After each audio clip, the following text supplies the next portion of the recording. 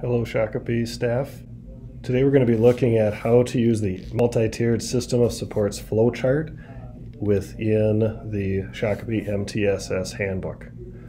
Once you're on this page, you can take a look and see that we have a flowchart to kind of walk through what we would typically do in order to support a student who might be struggling. This is going to be an overview of that flowchart. If you look at the top, we're starting with Tier 1. Tier 1 should be successful for 80% of our students. Tier 1 is what every student gets. Some of the things that Tier 1 would get as far as assessments would be the universal screener, grade level assessments, informal interventions as needed within the classroom, and then a social emotional learner, screener, and or rubric. Within Tier 1, you might notice that some students do struggle.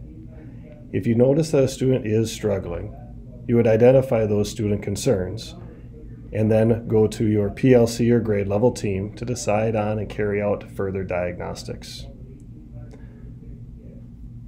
Right down here, you'll see that there, we can research interventions and determine who would be involved in those interventions. Now, if you have a good intervention that you think will work or that you and your team think will work, go ahead to tier two and implement that intervention. Good idea, as always, to make sure that you are documenting that intervention with data. An intervention isn't a true intervention unless there's data involved. Now, if the student results are showing the intervention is successful after six weeks or after a couple of months, then you get to decide should we continue with the intervention or has the student caught up with their peers and it's time to just stop the intervention but continue to monitor the student. That would be the cleanest route through our MTSS flowchart. Now, it doesn't always work out quite that way, so let's take a look at another possible situation. In Tier 1, we notice that a student is struggling talk to the PLC and grade level team to decide on and carry out those further diagnostics. Determine that student is struggling, so we're going to research interventions and determine who will be involved. In this case, we don't have a good intervention, so we're going to go this way. Because we couldn't find a good intervention, we're going to do one of two things. We're either going to consult with more colleagues or we're going to go straight to an I-team referral and meeting. Now, even after consulting with other colleagues, you still might decide it would be a good idea to refer it to I-team because we still aren't finding the interventions that we're looking for. Within that I-team referral and meeting, we should be able to come up with an intervention that we think is best for the student.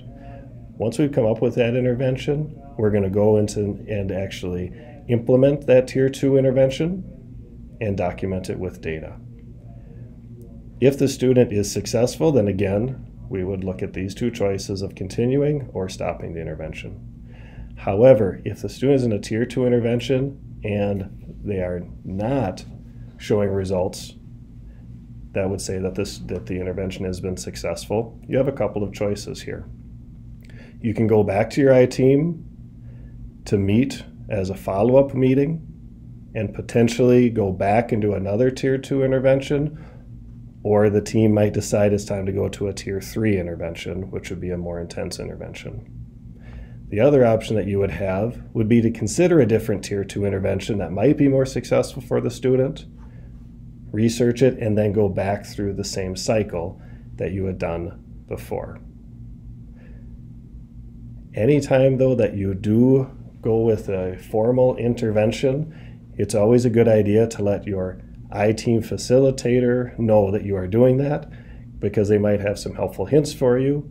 And also, if you do end up having to go to an I-team meeting in the future or having to refer for I-team in the future, it's always good to, for the I-team facilitator to already know what's been going on with that student so that you can get right to the best intervention for that student. Thank you, and I hope this was helpful. As always, in partnership with our community, Shakopee Schools will educate lifelong learners to succeed in a diverse world.